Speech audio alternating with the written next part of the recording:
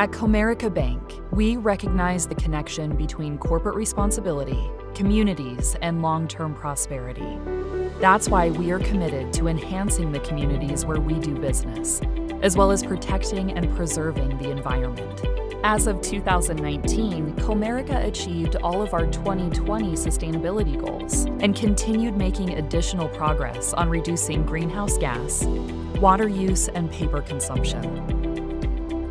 We also have dedicated approximately $923 million in loans and commitments to environmentally beneficial projects and companies.